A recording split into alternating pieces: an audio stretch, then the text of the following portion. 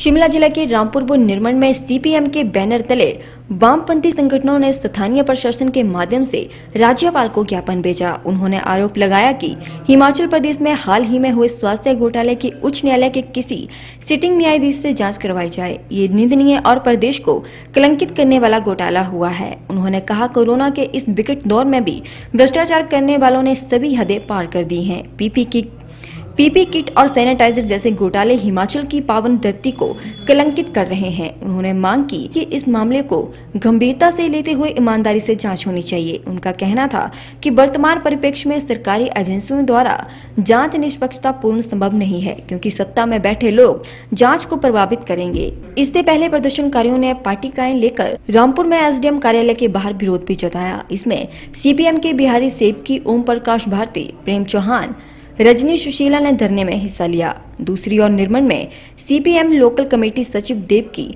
नंद पूर्ण ठाकुर, जगदीश, राम कुमद, राम दुर्गा, सिंह, राजकुमारी आदि प्रमुख रूप से उपस्थित रहे। बिहारी सेबकी ने बताया कि रामपुर में एसडीएम के माध्यम से राज्यपाल को ज्ञापन सौंपा, जो अभी स्वास्थ्य घोटाला हुआ है।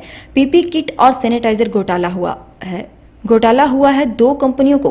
भाजपा नेताओं के रिश्तेदारों के माध्यम से लाभ पहुँचाने की कोशिश हुई है। एक से छह हज़ार किटे मंगवाई हैं तो दूसरी ओर सात हज़ार पीपी किट आई है, लेकिन हिमाचल में ये पहुँची नहीं है। करोड़ों रुपए का घोटाला हुआ है, इसकी जाँच होनी चाहिए। प्रेम चौहान ने बताया कि सीटीएम इस बात को लेकर प्रदर्शन कर रही है कि स्वास्थ्य विभाग के अंदर एक बहुत बड़ा घोटाला हुआ है, जिसमें दो गिरफ्तारियाँ भी हुई हैं और हम ये मांग कर रहे हैं कि उसमें न्यायिक जाँच होनी चाहिए, किसी उच्च न्यायालय के न्यायाधीश से जाँच होनी चाहिए।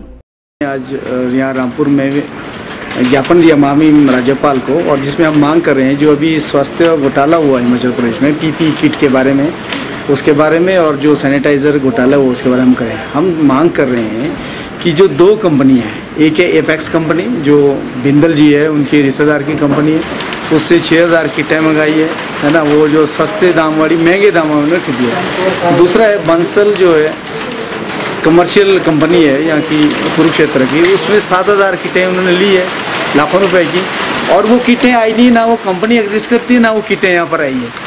तो उसको हम कह रहे हैं कि भी इसकी जो है जाँच होनी चाहिए और जिस तरह से विजिलेंस डिपार्टमेंट जाँच कर रहा है हिमाचल प्रदेश का, वो हाई कोर्ट के जो दिशा निर्देश है उसके अनुसार होना चाहिए और हम महामिम राज्यपाल से ये अनुरोध करें कि जो ये करोड़ रुपए का घोटाला हुआ है, इसकी जो है सिटिंग जो जज है हाईकोर्ट उनसे जो है इंक्वायरी है।